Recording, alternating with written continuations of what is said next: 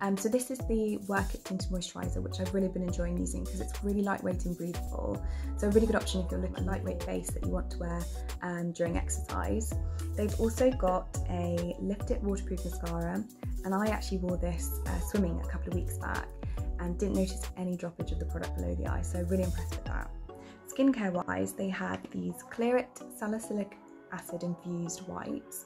Um, they're biodegradable and they're a really great way to dissolve sweat, dirt, and pollution. So I like to use these just after I finished a run before heading in the gym, um, just because I don't have time to cleanse and it's a great way to kind of clean the skin and refresh the skin surface. And then I like to finish off using the Cool It Mist, which has a little bit of hyaluronic acid in it just to hydrate the skin in a really light way.